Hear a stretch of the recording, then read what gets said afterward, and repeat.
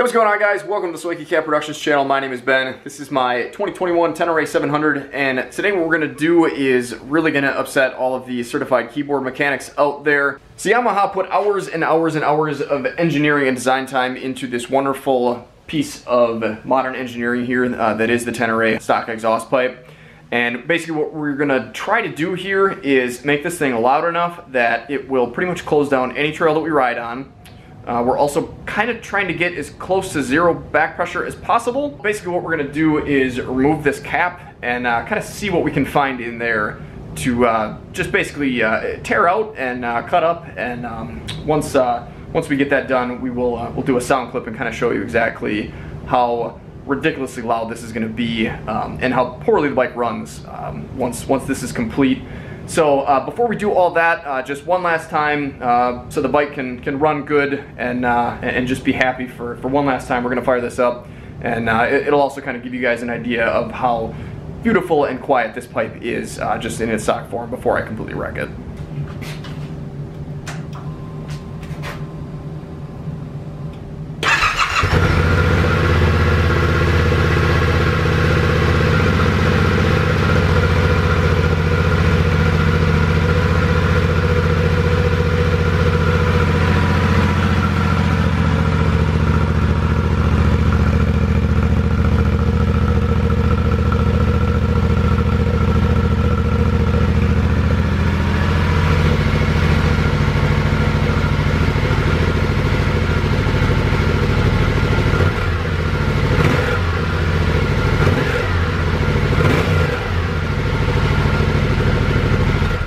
So to be honest, uh, this stock exhaust actually really sounds pretty darn good. Uh, this motor is just a, a, great sounding motor in general. I absolutely love everything about this motor. Um, however, this pipe is way too quiet for me anyway. Now I've done a lot of joking about everything in this video, but uh, to be honest, I do not like a pipe that is too loud. Um, I don't want to annoy anybody. Uh, I don't want to scare the wildlife away. I enjoy see seeing wildlife. Uh, but I also like to be able to hear the revs of the bike when I'm riding it, and I can pretty much hear this pipe through first gear. Uh, as soon as I get into second, I pretty much can't hear anything at all. So I wanna just kind of see what I can get out of this stock pipe. The best thing you can really do with this stock exhaust pipe is remove it and actually probably cut this, uh, this bracket off and uh, get a, uh, a high mount exhaust kit. I'm sure there are some motorcycles out there that have had hours and hours of engineering and design time put into their exhaust systems. The Tenere at, at the price point that it's at probably didn't see a whole lot of uh, R&D or design time uh, put into to the muffler. Uh, most bikes in this price range, um, probably most bikes in general, to be honest, uh, the muffler is not necessarily an afterthought. Um, I, I mean, I'm sure they're not absolutely horrible, but they're heavy. Uh, they're definitely not made with performance in mind. They're designed more to be economical and just something that can be thrown on the bike. Most people that are serious about performance are gonna replace the pipe. And there's people like me that are really only interested in the sound aspect of it and aren't all that concerned with performance. We'll see what we can get out of this pipe here today and uh, you can kind of make your decision after that. So the first thing we're gonna do is just remove these four Allen bolts that are holding the tip cover on.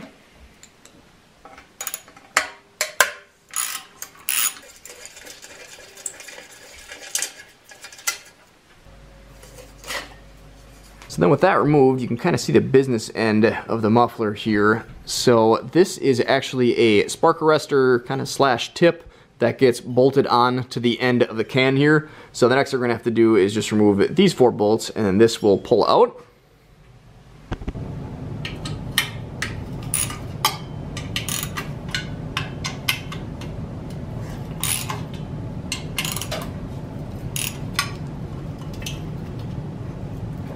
Those fasteners out of the way, and this will come out. So if you guys are not familiar, this is what a spark arrestor is. Basically, it's just kind of a fine mesh that will let the air flow through and have the uh, exhaust gases escape out this end, but not let any sparks or uh, any flame that comes from the engine come shooting directly out of the tip. Uh, they just kind of get stopped by this mesh. So there we go. So this is basically just kind of an empty chamber and then you can kind of see the actual muffling part of the muffler is going to be inside of there and on the other side. And, and basically all the muffler does is just kind of lets the air flow through a couple chambers that kind of quiets it down and uh, also slows it down. So I would strongly encourage you guys to put back the spark arrestor portion of this. I would not ride this bike anywhere off-road at all without one of these. Uh, it's definitely illegal. It's definitely dangerous. So the plan is going to be to basically kind of make a cut on the inside of here so I can remove this pipe that you can kind of see through the mesh here. In order to accomplish that, I'm going to have to kind of make a, a, precise cut on the inside of here, and you can kind of change that diameter uh, if you want, kind of up to a point. Uh, I'm going to try to go kind of as big as I can, and then we'll kind of see what that sounds like. Uh, the best thing to do would probably be to replace this with some sort of larger pipe uh, that will protrude from the exhaust tip. Obviously, you can only go so big. Obviously, it's also a rectangle, not, not a circle, so we'll have to do a little bit of squishing if we want to fit a round pipe in there. Uh, but that would be kind of the ideal situation. I think for today, I'm just going to try to remove this and uh, basically just see what it sounds like as is.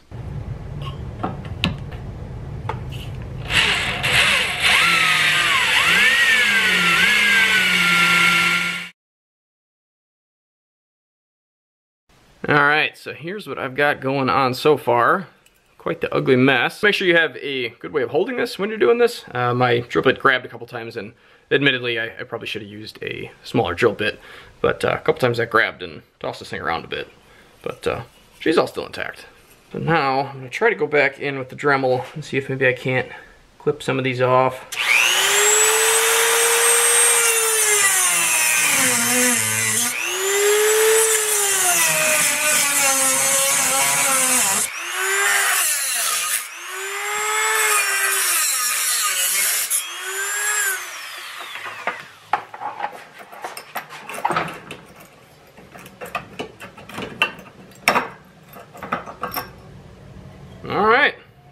is what we're looking for.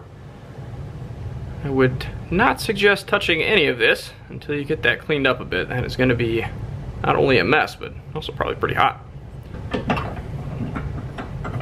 So basically what I'm going to do is kind of try and clean up these edges a little bit in here.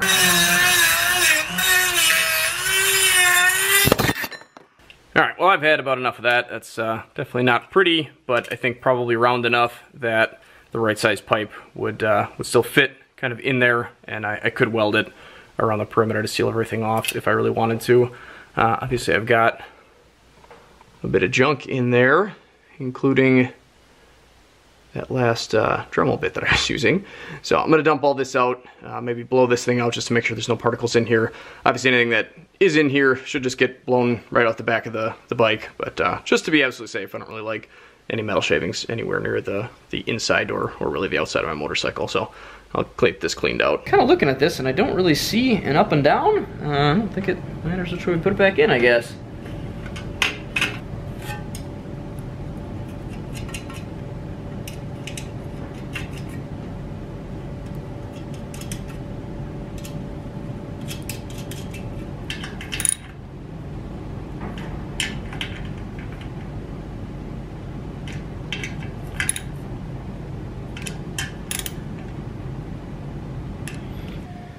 And next, we'll put our beauty cap on there.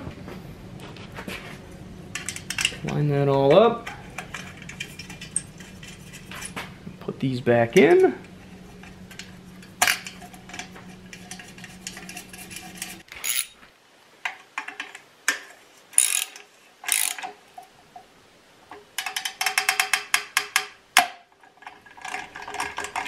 Definitely don't want to overdo these because these are in nut certs. Alright, so the moment we've all been waiting for, myself included, let's see exactly what my hack job got us here as far as sound.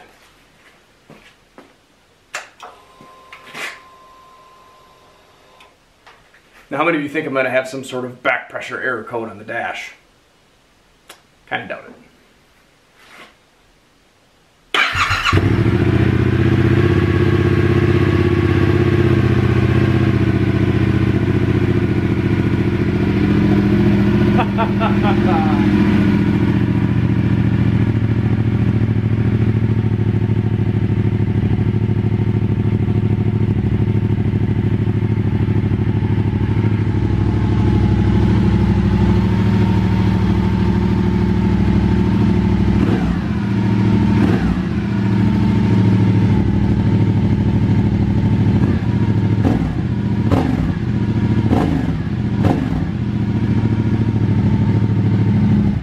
All right, guys, so as much as I would like to take this out on the road, it is actively snowing right now, and there is salt and ice all over the place. So we're going to have to stick to, to just my short little trails that I've got in my yard here. But I think this will probably give uh, you and me both uh, a good idea of just how loud this bike is really going to be. And uh, it is it, it is a tad loud.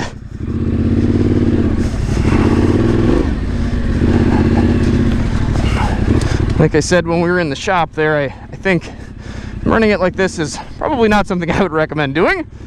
I think adding a, a, pipe in there would definitely kind of quiet things down and make it a little bit more reasonable.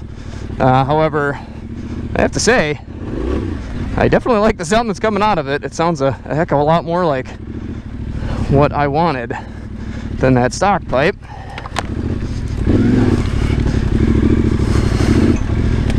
Bike is a little bit big for my woods. Handles it pretty darn well though, I gotta say. I think I'm actually more comfortable on this in my woods than I was on the KLR to be honest, which really kind of confuses me. I'm not sure exactly why that is.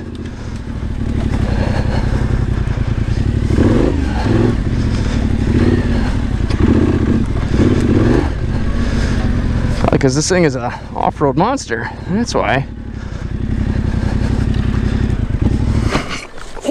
Oh, oh, the scratch bars out right away. Ow.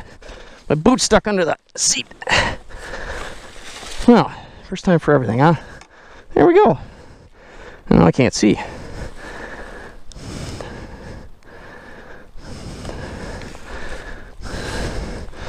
Uh-oh. And grabbed the tree with the plate, apparently. Nothing left of that tree. Okay. Boy, I wish I could show you how well the crash bars are working.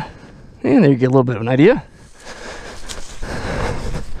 Fell over right in the muffler. That's good. That's what you want. Uh. Uh. Not too much worse than the KLR. Actually, maybe even a little bit easier. Okay. So, hopefully we didn't wreck any of the plastics with my boot there. Kind of got caught. Oh, I guess we'll figure that out later. Exhaust pipe still attached. Possibly bent in a hair. I can think I'm planning on getting that kit. Ah. Okay.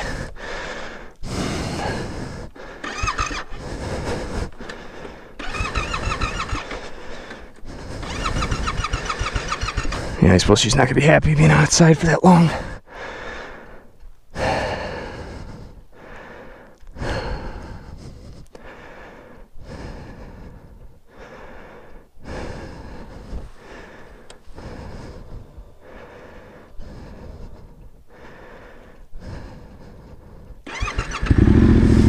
There we go. And we're off.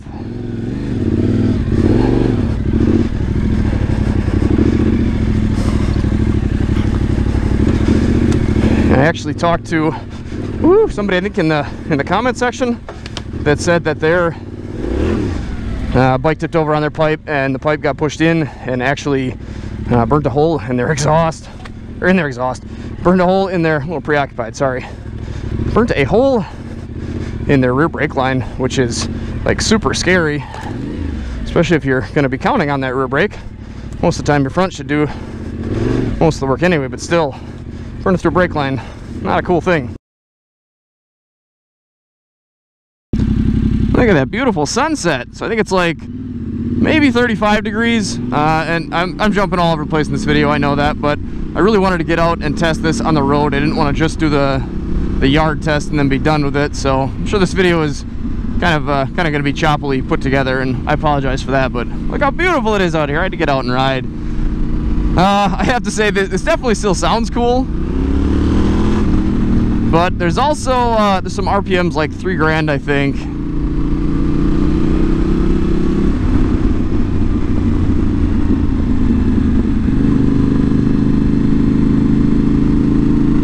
And maybe it's three, maybe it's not. I don't know where it is. Uh, there's been a, a, couple RPMs that I've kind of been sitting at just at cruising speed.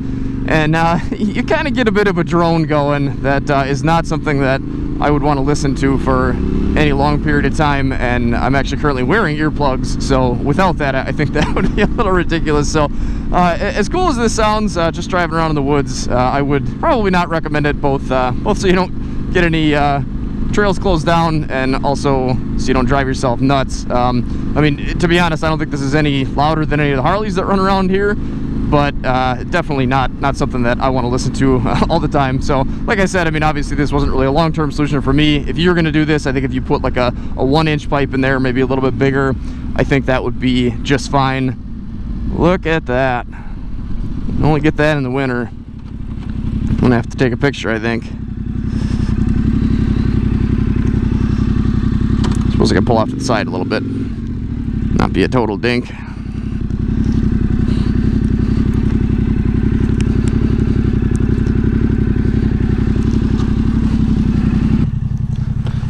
Fall down in the ditch and never come back out.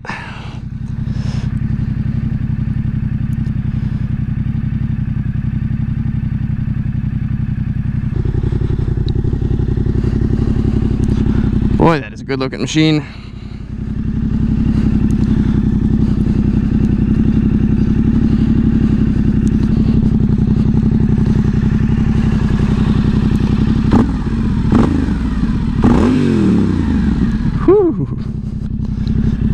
Sounds cool here, but I don't know. Something about moving. It's not good.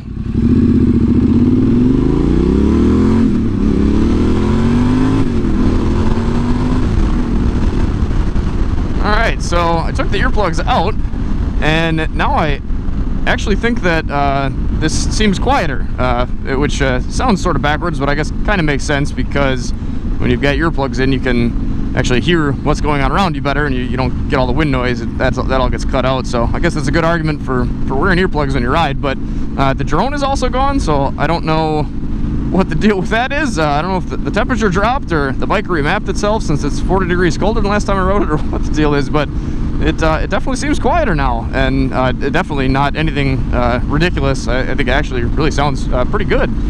But I think I would probably still recommend at least planning on putting some sort of smaller diameter pipe in there uh, just to just to be able to uh, maybe tone it down just a tad. Uh, I also, it, has been a while since I've been on the bike and I know there's plenty of people that are going to say that I lost all my back pressure and uh, th that's why I'm feeling this way. Uh, and maybe that is the case, I, I guess I don't know. But it does almost seem like maybe this thing doesn't quite have as much power as the last time I rode it but I don't know. It's dark. It's uh, it's been like a month since I've been on the bike on the road, and uh, uh maybe I'm maybe I'm just misremembering or uh, misinterpreting due to the, the darkness and the, the, wonderful sunset that I've got going here. So uh, let's let's take the bike back home and uh, we'll get it under the light and see exactly what happened when I tipped it over. I take the long way home. Do do do. I take the long way home. Wife's not gonna be happy, do do do. Told her I was coming home right after the gas station, do do do, and I didn't. Do do do. Sorry, honey badger. Well, everybody's at, been asking about the, the little guy and honey badger. They're both doing great. They're having a great time being a little family. Oh, look at that sunset, boys. Look at that.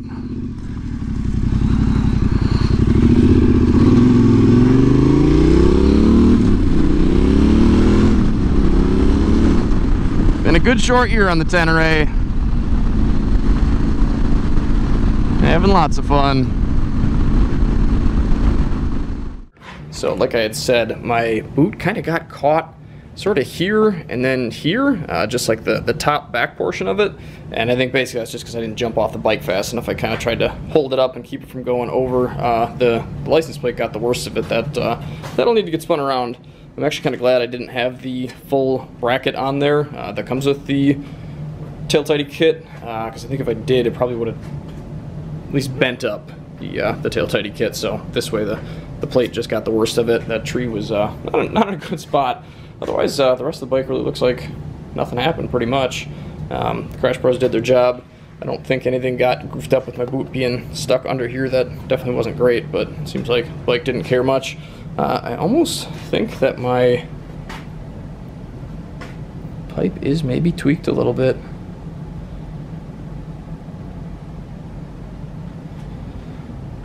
I don't know, hard to say, but uh, definitely something I expected, which is why I've been looking into the reroute kit for the for the pipe. So other than the fact that it's still in the same old dumb location, uh, I'm really pretty happy with that modification. That uh, actually sounds really, really, really very nice. I'm really happy with uh, with how it turned out. Um, Still thinking maybe it'd be a good idea to have a, a, pipe in there, but honestly, I think you could probably let it let it rip just how it is. Uh, I don't really think it's all that bad. I think it, at first it was a, a, bit of a shock, and a lot of times I ride with earplugs in, so I think that kind of threw me off a bit. But I really don't think it's that bad at all. I mean, I guess if you guys are interested, you can you can do it for yourself, try it out, and uh, if you want to put that pipe in there to kind of quiet it down, I think that would help. So. I guess that's probably about all I've got for you. Uh, if you guys have any comments or questions, leave them down below. Otherwise, uh, take care, stay safe, stay swanky if you can get out and ride, make sure you do that. If you can't, then uh, check out some of these videos. And if you're not subscribed, hit the subscribe button. Put a video out at least once a week. Thanks for watching, guys. Take care, stay safe, and stay swanky. Think I said that already. That's okay. Do it. Click video. Hit subscribe. If you're still here, you really should. Wish I had some better lighting down here.